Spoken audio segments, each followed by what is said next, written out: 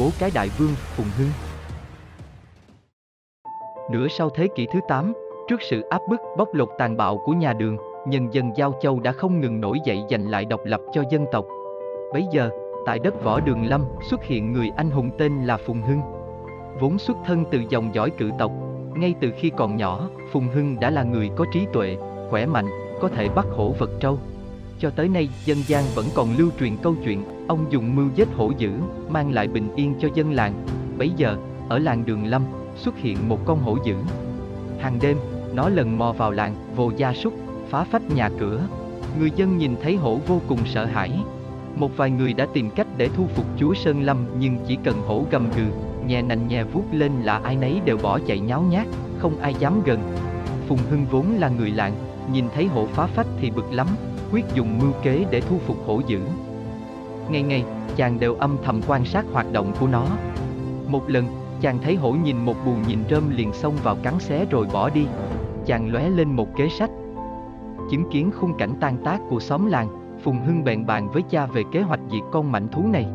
Không thể để nó tiếp tục gây họa cho dân làng được. Ngay lập tức, Phùng Hưng bắt tay làm bù nhìn rơm. Trai tráng trong làng lấy làm lạ lắm, không hiểu chàng định đối phó với hổ dữ bằng cách nào. Để trấn an dân làng, chàng giải thích thật kỹ về cái bẫy mà chàng sắp giăng ra cho mạnh thú. Cuối cùng thì dân làng cũng đồng tình làm theo kế hoạch của Phùng Hưng. Đêm đầu tiên, như thường lệ, hổ lại mò vào làng bắt gia súc. Nhìn thấy buồn nhìn rơm của Phùng Hưng, hổ tưởng đó là người, liền lao vào cắn xé. Quần đảo buồn nhìn rơm một lúc, thấy chỉ có cọc gỗ độn rơm. Hổ tức giận, liền gầm gừ lên rồi bỏ đi. Đêm thứ hai, đêm thứ ba, rồi đêm thứ tư, hổ lại mò vào làng, nhìn thấy buồn nhìn rơm, lại lao vào cắn xé. Lần nào cũng vậy, cắn xé thỏa thích, con mảnh thú lại thở dốc, nhìn buồn nhìn rơm tơi tả trên mặt đất. Đêm nào Phùng Hưng cũng theo dõi động tĩnh của nó. Chỉ sau vài ngày, nhận thấy mảnh thú đã bắt đầu chán trò chơi với buồn nhìn rơm. Chàng biết thời cơ hành động đã đến, đã đến lúc trả lại sự bình yên cho xóm làng. Đêm ấy, lại một đêm nữa hổ mò vào làng. Lần này thấy hình nhân, hổ chẳng còn hào hứng nữa mà hờ hững liền bỏ đi. Nó đâu biết rằng, bên trong hình nhân chính là Phùng Hưng. Chỉ chờ cho hổ đi qua, Phùng Hưng mới bất ngờ xông tới nhảy lên mình hổ, vì chặt con mạnh thú. Bằng sức mạnh của một đôi vật khỏe nhất vùng, Phùng Hưng dùng hết sức mạnh để vật nhau với hổ.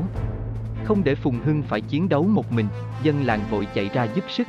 Em trai Phùng Hưng là Phùng Hải dùng một đoạn dây thừng, văng dây từ xa, cuốn chặt lấy một chân hổ. Trai tráng ở các phía khác nhau cũng lần lượt trói chặt chân hổ từ tứ phía. Cuối cùng hổ cũng ngã xuống, vỡ sọ mà chết.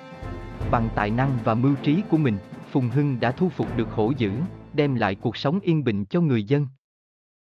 Vài năm sau, ông nối nghiệp cha trở thành hào trưởng đất đường Lâm, phát động một cuộc khởi nghĩa lớn chống lại chính quyền đô hộ nhà đường.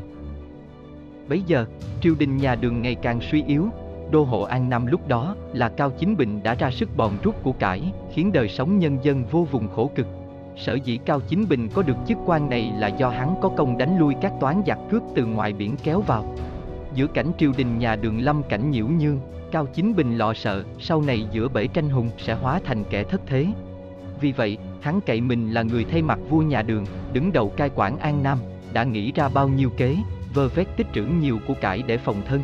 Trong bối cảnh đó, Phùng Hưng đã đứng lên, tập hợp trai tráng trong vùng chuẩn bị lực lượng, xây dựng căn cứ kháng chiến, chờ thời cơ vùng dậy khởi nghĩa. Đầu tiên, Phùng Hưng cùng với em là Phùng Hải lãnh đạo nghĩa quân nổi dậy làm chủ đường Lâm. Nhận thấy đường Lâm là vùng địa thế thuận tiện, bán sơn địa có sông Hồng, sông Tích bao quanh, có núi Ba vì làm thế tựa, các ông đã xây dựng đường Lâm làm căn cứ vững chắc. Hôm nay nổi dậy ở đường Lâm, ngày mai cuộc khởi nghĩa của ta sẽ lan đi khắp các châu huyện, đổ thêm dầu vào ngọn lửa căm hờn lâu nay vẫn âm ỉ trong lòng nhân dân. Quá trình phát động khởi nghĩa vô cùng thuận lợi. Các ấp láng giềng đều xin theo cả, nhân đó mà Phùng Hưng đã xây dựng được căn cứ chống giặc liên hoàn, rộng lớn. Nhờ vào uy tín của Phùng Hưng, quần chúng theo về rất đông, chỉ trong một thời gian ngắn, người dân từ khắp các miền đất giao châu đổ về hưởng ứng, nghĩa quân lên tới vài vạn người. Sau thời gian luyện tập, các anh em huynh đệ vô cùng nóng lòng được vùng lên, giết chết tên đại tham quan Cao Chính Bình. Phải chứng kiến dân bạc mặt đói cơm, quan thì say sư hưởng lạc, có kẻ nào làm đấng Nam Nhi mà không cảm thấy căm phẫn. Tuy nhiên, Phùng Hưng với tầm nhìn xa trông rộng, nhận thấy lực lượng chưa thật đủ mạnh để đè bẹp quân địch. Vì vậy, ông cho người tỏa đi xung quanh chiêu mộ thêm binh lính và sắm thêm vũ khí. Đặc biệt, ông nhận thấy quân lính ở Tống Bình đang có nhiều bất mãn, người Côn Lôn, Chà Và, đang đem quân đánh nhà đường ở phía nam. Chỉ chờ chúng nổi loạn lên, quân ta sẽ nhân cơ hội đó đem quân về mà lật đổ chính quyền đô hộ ở thành Tống Bình. Trong thời gian đó, nghĩa quân tấn công quân giặc ở các vùng phụ cận. Quân giặc ở Châu Đường Lâm và các vùng phụ cận không đương nổi những cuộc công phá sấm sét phải tháo chạy. Tuy nhiên, do lực lượng của địch quá mạnh nên tình hình diễn ra như vậy hơn 15 năm không phân thắng bại, Phùng Hưng chưa thể đem quân xuống phủ đô hộ vây bắt Cao Chính Bình được. Phùng Hưng vô cùng lo lắng vì thời gian giao chiến kéo dài, quân binh hao hụt, tình hình này cứ kéo dài thì biết bao giờ mới giành được chính quyền mà xây dựng nền tự chủ. Nhìn ra sự lo lắng của chủ tướng, Đỗ Anh Hàn, một quân sư dưới trướng Phùng Hưng, cũng đứng ngồi không yên. Ông muốn khuyên chủ tướng đánh một trận thật oanh liệt, nhưng đánh lớn phải bàn kỹ mưu, tính kỹ kế, không thể liều lĩnh đặt cược sự sống chết của nghĩa quân được. Vậy là Đỗ Anh Hàn ra sức nghiên cứu, tìm tòi kế sách, và cuối cùng ông đã tìm ra diệu kế giúp Phùng Hưng, quyết liệt khuyên Phùng Hưng hãy ra sức đánh thành. Nghe kế sách của Đỗ Anh Hàng, Phùng Hưng rất băn khoăn. Vẫn biết Đỗ Anh Hàng là người thấu hiểu thánh hiền, lại mưu trí tài năng. Được mọi người kính trọng, nhưng đánh thành Tống Bình là việc vô cùng mạo hiểm. Thành Tống Bình kề sông, thành trì chắc chắn, không thể khinh thường. Hơn nữa, trong thuật dùng binh, đánh thành là việc bất đắc dĩ mới phải làm, bằng không chỉ là nướng quân mà thôi. Thế nhưng, Đỗ Anh Hàng đã phân tích rất kỹ điểm mạnh yếu của địch. Sơ hở của của quân Cao Chính Bình nằm ở chính binh lính của hắn, bởi bấy nay quân lính ở Tống Bình có nhiều bất mãn, nhiều lần nổi loạn. Trước khi tiến đánh, nghĩa quân lại ném hịch kêu gọi, dùng lời lẽ mà làm lung lạc tinh thần binh lính. Khi tinh thần của địch tự rệu rã, vào thế trận ắt chúng sẽ tự nghĩ kế thoát thân.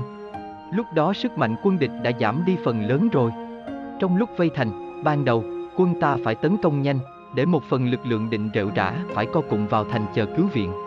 Trong lúc này, ta nghỉ chân chăn ngựa, đợi trong thành hết lương, đồng thời nổi chiên trống lên mà làm hoang mang tinh thần binh lính trong thành. Trong lúc đó, các đạo quân nhỏ khác cũng hoạt động tích cực. Phần ngăn chặn quân đường đang đóng ở phía tây bắc không cho về cứu viện, phần chặn đường tiếp tế lương thực. Phần cắt đứt đường rút chạy của quân đường, quét sạch tàn quân, không cho trốn về nước. Kế sách hết sức hợp lý của Đỗ Anh Hạng đã khiến Phùng Hưng hoàn toàn bị thuyết phục. Có thể nói, trong sự nghiệp của mình, Đỗ Anh Hạng luôn thể hiện là người khí phách, mưu trí và trung thành khiến Phùng Hưng hết sức trọng dụng, thậm chí đã từng xem ông là bậc thầy và hết lòng kính nể. Cuối cùng, Phùng Hưng đi đến quyết định đánh thành.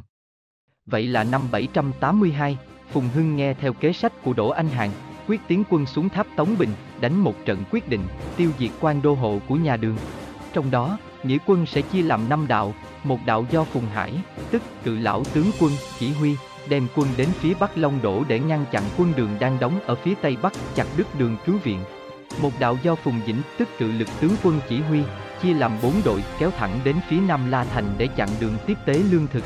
Đạo thứ ba do tướng Bồ Phá Cần chỉ huy, đến thẳng bờ phía đông sông Tô Lịch để cắt đứt lối rút chạy của quân đường. Đạo thứ tư do Đỗ Anh Hàn dẫn đầu, đi tuần tiểu ở vùng các châu Đường Lâm, Trường Phong để quyết sạch tàn quân của Cao Chính Bình nếu chúng chạy thoát khỏi vòng vây của ta, không cho trốn về nước. Đạo thứ năm do Phùng Hưng đích thân chỉ huy đánh thẳng vào phủ thành Tống Bình. Biết tin Phùng Hưng đem quân đến đánh thành Tống Bình, Cao Chính Bình vẫn chẳng hề lo lắng, vẫn ăn chơi nhảy múa như không có chuyện gì xảy ra. Vốn tính chủ quan, khinh thường quân ta, hắn dự định cho tập trung quân lính bảo vệ thành, chờ lực lượng cứu viện từ phương Bắc. Cao Chính Bình ngạo nghễ cho rằng, Phùng Hưng chỉ có thể làm càng ở đất Đường Lâm, chứ thành Tống Bình tập trung quân lực thiện chiến, sao nghĩa quân có thể đấu nổi. Dẫu cho thuộc hạ dưới trướng của hắn đã ra sức khuyên can và cảnh báo, rằng xứ An Nam trong mang di hèn yếu vậy nhưng thực chất nội lực không vừa. Thuở sư dân An Nam đã đánh hán binh nhiều phen kinh hải, chớ có chủ quan. Nhưng Cao Chính Bình đều bỏ ngoài tai, vì hắn cho rằng bao đời nay xứ An Nam nổi loạn không bao giờ chiếm ưu thế được lâu. Hắn chỉ cần nổi cơn tam bành lên đánh cho vài trận thì quân dân ta chỉ còn nắm xương tàn. Nghe vậy, đám người dưới trướng chỉ còn biết lắc đầu ngao ngán. Trong lúc đó, tất cả đạo quân của Phùng Hưng đã nhớ nhiệm vụ của mình, có thể chủ động tiến đánh bất cứ lúc nào, theo kế sách của Đỗ Anh Hàn. Ban đầu nghĩa quân sẽ bày quân yếu để dụ chúng ra mà đánh. Vừa tiến công, vừa mai phục, lại cho người đào hào mở đường. Các cánh quân phối hợp chặt chẽ, tiến thoái nhịp nhàng.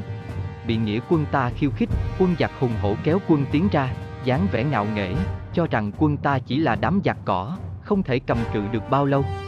Thế nhưng, chúng không biết rằng, quân của Phùng Hưng đã vây khắp thành. Từ tứ phía, hàng ngàn cung tên từ đâu được bắn ra, khiến quân giặc nhấn nhát. Phùng Hưng ra lệnh tấn công, hai bên xông lên, đánh một trận kịch liệt. Cuộc đấu đã diễn ra trong nhiều ngày, thương vong vô kể, thay chất thành đống, máu chảy thành suối khiến sông Lô, sông Nhị đỏ ngầu. Đến lúc này thì Cao Chính Bình đã biết sợ. Nghe tin nghĩa quân Phùng Hưng được nhân dân hết sức ủng hộ, đem cả trâu, bò, lợn, gà, tiếp tế nghĩa quân, tinh thần chiến đấu dân cao ngùng ngục. Cao Chính Bình tiến cũng không xong, bỏ chạy cũng không nổi, đành sai người đóng chặt thành, lùi về cố thủ chờ quân cứu viện. Nhưng hắn không ngờ rằng, quân cứu viện phương Bắc đã bị nghĩa quân ta chặn từ trước, Cao Chính Bình chỉ còn nước bỏ mạng mà thôi. Quân giặc rút lui, đóng cửa thành thì quân ta càng tiến công, dùng thang lớn vượt tường sông vào đánh, khí thế ngút trời. Sau 7 ngày đêm xung sát, quân giặc vô cùng hoảng loạn, chỉ còn co cụm lại chờ chết. Nghĩa quân Phùng Hưng thừa thắng họ reo bủa vây khắp bốn mặt thành. Thấy quân mình chết nhiều, Cao Chính Bình lo sợ phát điên, cuối cùng sinh bệnh mà chết. Chỉ chờ có vậy, Phùng Hưng ra lệnh tấn công quét sạch giặc ra khỏi lãnh thổ. Nghĩa quân dùng gỗ lớn phá vỡ cổng, chẳng mấy chốc chiếm được thành, giành thắng lợi hoàn toàn. Sau cuộc tiến công vào thành Tống Bình giành được thắng lợi, Phùng Hưng chính thức lên ngôi vua, bắt đầu xây dựng nền tự chủ. Ông Xương Vương được 7 năm thì mất. Con trai ông là Phùng An lên nối nghiệp được 2 năm thì đất nước lại rơi vào tay giặc. Với công lao và sự nghiệp lẫy lừng, người đương thời đã vô cùng mến mộ và suy tôn ông là bố cái đại vương.